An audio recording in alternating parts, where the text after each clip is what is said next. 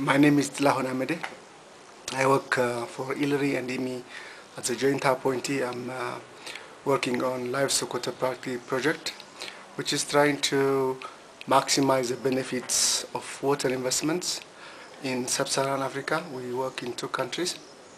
One is Ethiopia and the other one is Zimbabwe. And uh, the issue is in these regions, water is becoming scarce and scarce. But again, livestock is a very important livelihood strategy in the system.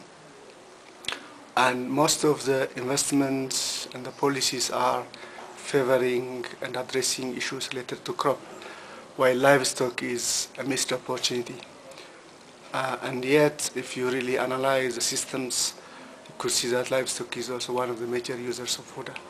So our project is about understanding the dynamics, but also developing strategies that could you know, improve water productivity, improve livestock productivity, and minimizing land degradation, negative effects of, of livestock, while you know, improving the benefits that people are getting from livestock.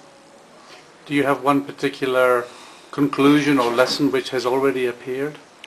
Yeah, uh, one, you know, if you improve the integration of crop and livestock in these systems, uh, you'll get more benefits and you'll minimize the degradation effects.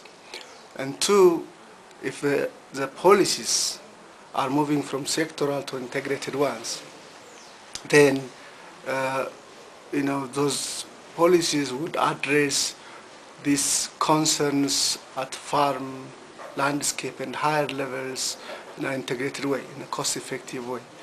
Uh, the third one is that there are technologies which are useful for these systems which are not reaching the farmers.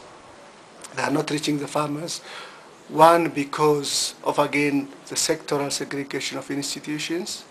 You know, some are livestock oriented, some are crop oriented, some are water oriented, but also because you know the interventions are so complex, they are somehow packed and are not giving options for farmers to choose from.